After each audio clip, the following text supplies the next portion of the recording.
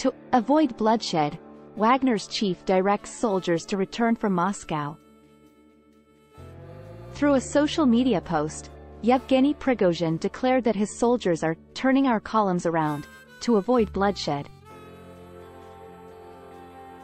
According to reports, Alexander Lukashenko, the president of Belarus, acknowledged that he had begun talks with Prigozhin on Vladimir Putin's behalf and with his approval.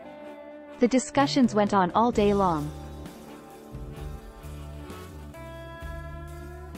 Prigozhin consented to halt his company's progress toward Moscow.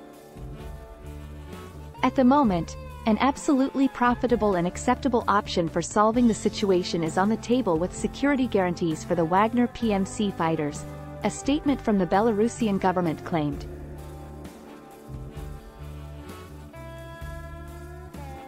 The announcement from Prigozhin appears to put an end to what many described as Putin's regime's biggest threat in his 23 years in power. According to the Associated Press, Prigozhin remained silent on the response of Moscow to his desire to remove Sergei Shoigu as defense minister. The Kremlin did not respond right away.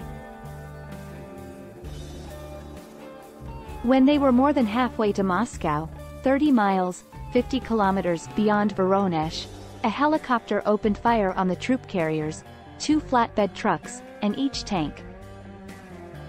Prigozhin said that he had entered Rostov-on-Don without firing a shot and taken control of the southern military district of Russia's headquarters.